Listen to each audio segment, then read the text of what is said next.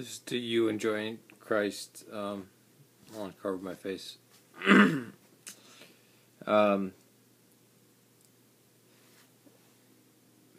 the first two videos I made, and I think you have not even gotten the second one, I forgot who you were. It was around New Year's. I remember it was dead of winter when um, Ruth came to me and was in tears about you uh, because she'd come across you saying that you just renounced Roman Catholicism for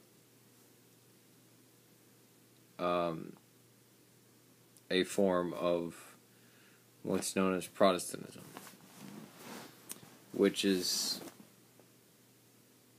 still, even though it's unbeknownst to the leaders, it's still under the Pope, under the church doctors, under um, man made theology, and heavily more legalistic. So I uh, made a few videos. I think we uh, might have talked past each other, maybe not. Um, so I don't know if I'm talking to a welcoming or a accepting audience or one that's completely hostile. Um,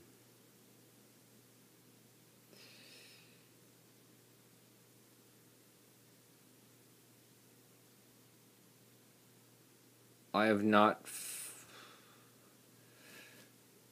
out of the history of Christianity, out of the history of the church, from the beginning of, from the day of Pentecost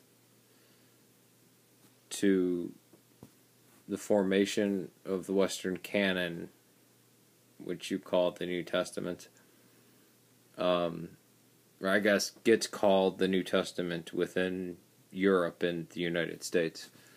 Um, although there are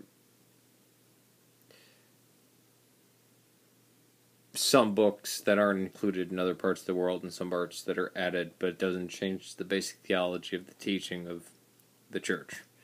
Because after all, both you and I know the church existed for hundreds of years before you had any form of Bible, and the Bible was put together by the church. In fact, every book, whether it's a book or epistle or apocalypse, was written by a member of the church, for the church, within the church, uh, to be read by the church, not by outsiders. That was death penalty. Um, thing I worry about with legalists, um, I heard you actually mention in a video, and I'm assume I'm talking to the Italian-looking female with the Chicago accent. Um, in this one, um, because that's the videos I see up. There's a male. Um, I don't know if that's her brother, her son, her husband. I, I don't know. Again, it's I don't care. It's not going to make any difference to me. Um, whether you believe in Trinity, are baptized, believe in Christ, put your faith in Christ. That will make a difference in our permanent relationship because I'll be spending eternity with anyone who does that. But the legalism of the West is beyond anything.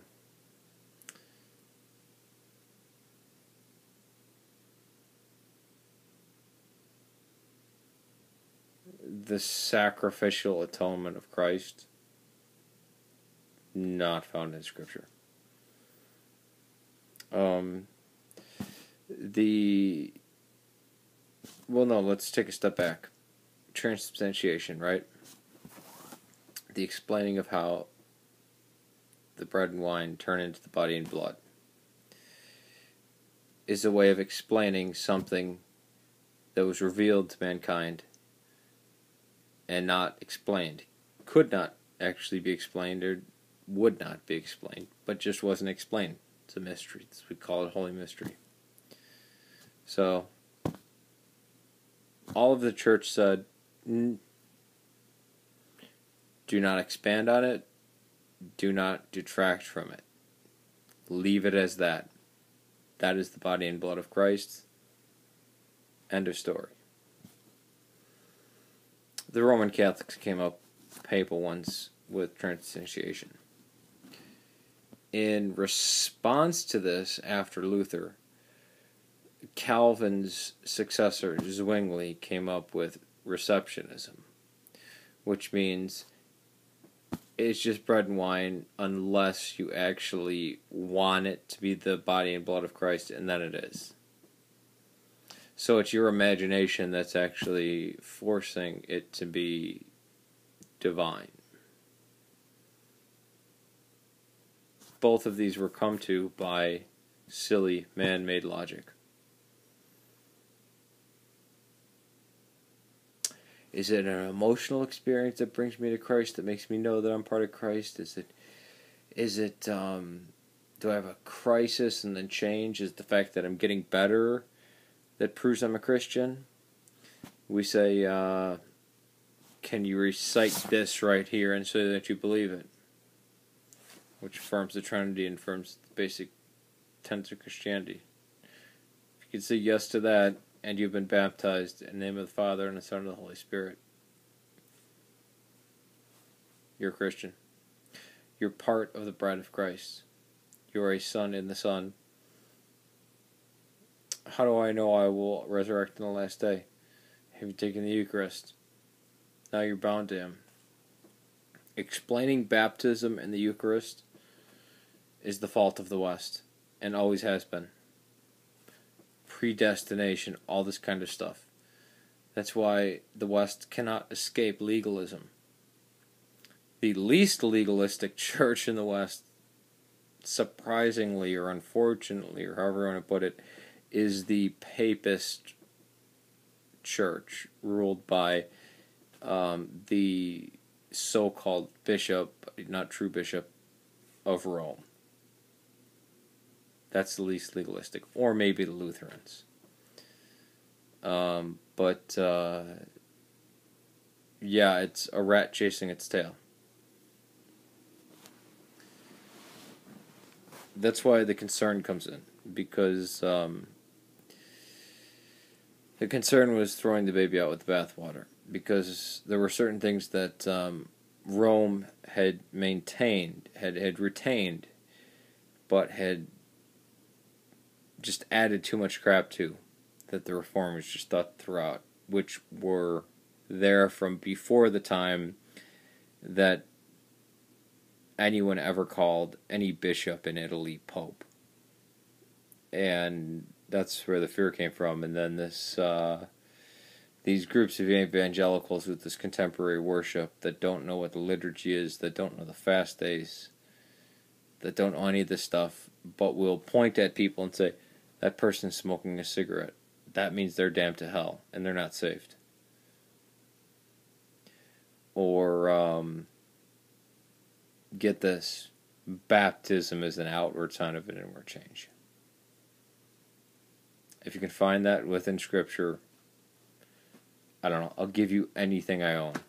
Because it's not there and Scripture church preaches, teaches the exact opposite. Not to mention people who don't understand that the books of the Bible were compiled over a 400 year period and took a lot of blood to be poured into the soil. And many creeds and councils were held before those books could be put into the 27 book canon of the New Testament that is known the West today. That's where the fear came from of this woman's leaving this and she doesn't know why and, and this and that. Um, hopefully, you're wise enough to still baptize your children um, and to respect the Eucharist enough. Uh, Paul even warns, saying that if you take of it incorrectly, you get sick or die. Um, again, I would implore you, since from what you say, to me, you're Christian. Uh, you looking at me, uh, again, Westerners usually look at us with just hatred because we're neither Protestant nor Catholic and we predate both. Um, please pray for the Syrian Christians. Um, the Orthodox Church has had the highest rate of martyrdom for the last thousand years. Usually, about a hundred of us a day die. Um, now it's up to 350 a day in Syria alone. Um, please pray for the Syrian Christians. And it's not just Orthodox there. There are Lutheran and Presbyterian and other factions that have gotten there. Um, peace to you. God and Christ bless you. Take it easy. Christ in our midst.